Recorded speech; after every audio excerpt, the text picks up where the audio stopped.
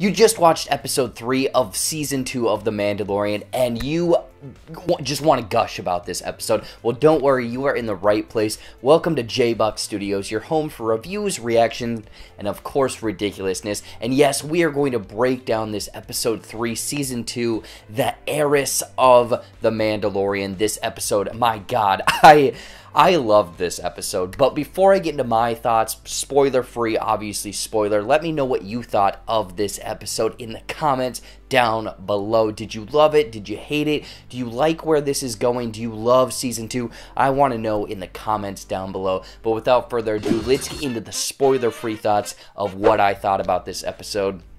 And I thoroughly enjoyed this, again, side mission. I've said week and week again that this Mandalorian season or this the show essentially feels like a video game. It's you have this main mission, this main story mission, and then all of these spreading ones of getting new tech, information, contacts, uh, people with you, and that's what I think I loved about this episode of going off, fixing the ship, meeting these people, delivering this thing, but then getting more information to lead us on to episode four, five, six, seven, eight. You know, all of that. So I think that this was definitely not as strong as the first episode because that is a high bar to get to, but I think that this was much better, in my opinion, than the previous episode. So that is my spoiler-free thoughts, but getting into the spoilers, I... Man, I... I just love the kind of lived in feel of this episode. Again, it feels like a side mission going off instead of getting new tech, weapons, armor, people. This time he's getting information, but he does run into a handful of other people that I'll get into.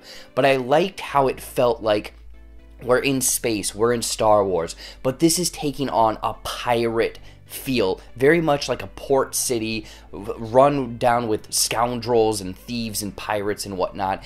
And it's very much like sea shanty. You know, all of the creatures there are crustacean type people, crab people, uh, uh, Mon Calamari, essentially, like that kind of race of people in this. So I loved the feel that it set up. It very much does.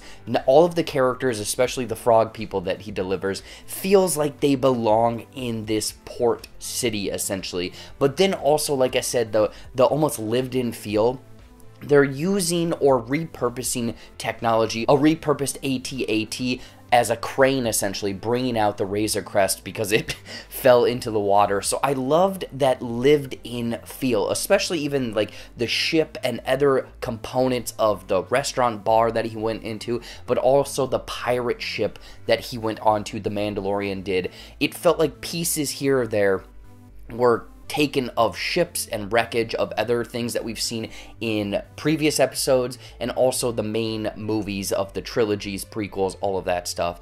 So I loved that feel, but then also the the danger. It turned the tides, no pun intended, at the drop of a hat, literally, of feeding this monster and then slapping in the child, essentially. Like, I was enjoying this episode and I was like, holy crap, they are going to kill the child. And then Mandalorian, the Mandalorian jumping in after him, and all of these crustacean people, crab people, googly, you know, from uh, Dead Man's Chest of Pirates of the Caribbean, they are just fighting him off because his armor is worth so much money. But then right here is where the episode essentially blossoms into bringing in more characters and more Mandalorians because if we remember, he is on this kind of sea shanty dock town uh, planet to deliver the frog people, but also they knew that there's another Mandalorian potentially there. And they show up, they kick ass, they rescue the child, all of that. And we are revealed to three Mandalorians who aren't really following the religious patterns that the Mandalorian, the one that we're following, because they take off their helmets. And two of them are played by Sasha Banks, the wrestler, and then Katee Sackhoff. And Katee Sackhoff is Bo Katan, but then who people will know from Rebels and I believe the Clone Wars. I have not seen those. I am aware of the character, and she is very much kind of the heiress. That's what they're getting at with the title of the Dark Saber, which ties into something a little bit later. But the two other Mandalorians that are with her are again Sasha Banks and another guy that I can't remember his name, but they are both characterized or their character names are. Koska Reeves and Axe Woves, I believe, along with, again, like I said, Bo Katan, Katee Sackhoff as, as the forefront. But they are a different form of Mandalorian. They're very much trying to get these weapons, the power back to Mandalore, and she is the rightful heiress to the throne of Mandalore. So I'm curious if that's going to be a spin off series, if we're going to come back to these characters later on in this series. I'm very curious about that, but they want Mandalorian to help them rob a ship. And this this like robbing or pirating of this imperial ship very much does feel like that uh, the the from season one where they go into the prison and they break the guy out. But this is way more action packed. I absolutely love this because they are throwing stormtroopers the, by the wayside. They are flying them up and dropping them. They are shooting. They are throwing bombs and whatnot.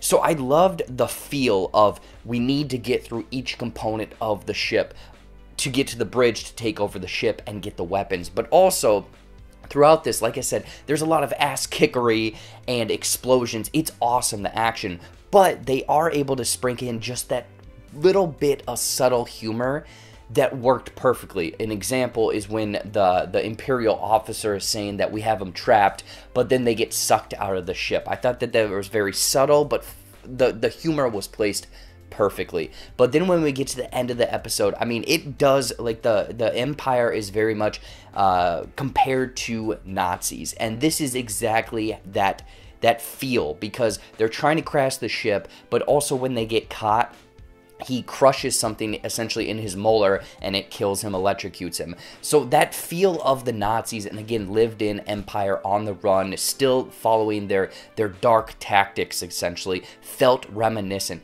But also, right at the end, Bo Katan reveals that she is looking for the dark saber. She used to have it, and I think in the Clone Wars or Rebels, it is revealed that she had the dark saber at one time.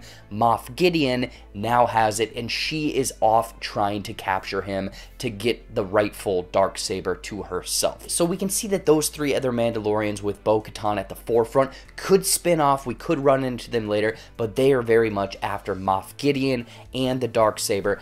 But Bo-Katan reveals where the Mandalorian can take the child, revealing Ahsoka Tano, essentially this like forest planet or or moon of a forest planet, not Endor, but that is I'm assuming where the next couple episodes of The Mandalorian are going to lead is taking the child to see Ahsoka Tano. And I love how this again, this series feels like Star Wars, but feels like it's lived in from the tech that they're using, the repurposing of technology and of machinery essentially, but bringing in all of these characters. Maybe it seems a little ham fisted throwing them in, but I do think that it's bringing in all of these characters to potentially build out a whole new universe on Disney Plus with it fleshing out these characters. So I'm very much excited to see where potentially Bo Katan goes, The Mandalorian, and then the reveal and introduction of Ahsoka Tano, and potentially some some Sith that are following her. Who knows what's going on? I want to see a lightsaber in this season of the next couple episodes. Who knows? But that's my thoughts and breakdown of this episode three. What did you think of it? I thought that I absolutely loved it. I liked the video game setting again and where it is setting things up. But what did you think of this episode? Did you love it? Did you hate it? What aspects of this stood out to you? I want to know in the comments down below. But anyways, as always, thank you so much for watching. Watch some more videos up there or right over there, you know, brand new content every single week here on the J-Buck Studios channel. I'm working on my Scream 3 first watch reaction, so stay tuned for all of that. That should be posted this weekend. Follow all of my social media to stay up to date on everything I'm doing. Like this video, subscribe to the J-Buck Studios channel, and until next time, we'll see you later.